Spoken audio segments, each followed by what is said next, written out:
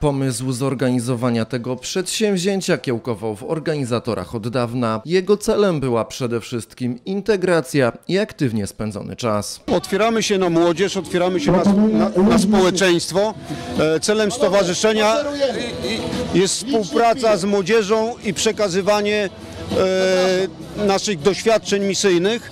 Jest to bardzo prężne koło e, dolnośląskie i czasie ostatniego spotkania w Krakowie na obchodach Dnia Weterana ustaliliśmy, że zaczniemy się tym e, powoli interesować. Na starcie pojawiło się kilkadziesiąt osób, przede wszystkim z klas o profilu mundurowym. Chciałam zrobić coś innego oprócz siedzenia w domu.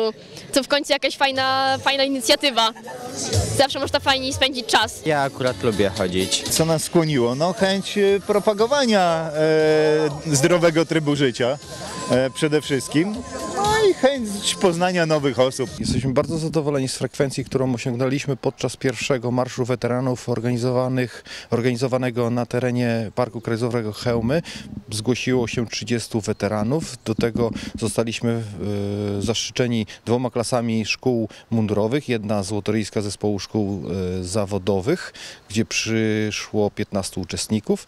E, druga szkoła to siódme liceum ogólnokształcące, z której przybyło 33 e, uczniów. Oprócz nich na starcie pojawili się oczywiście chętni niezwiązani ze służbami mundurowymi, czyli zwykli cywile. Podobne marsze zainspirowały organizatorów do własnego przedsięwzięcia. Nasz marsz jest wzorowany na Marszu Duńskim. Jest to marsz organizowany przez żołnierzy e, duńskich e, na, przebywających na misjach zagranicznych i to ten marsz odbywa się tak naprawdę na, na wszystkich kontynentach, gdzie e, służą żołnierze e, w- znani. Marsz odbywał się na terenie Parku Krajobrazowego Chełmy. Uczestnicy z obciążeniem mieli do przemaszerowania 20 kilometrów.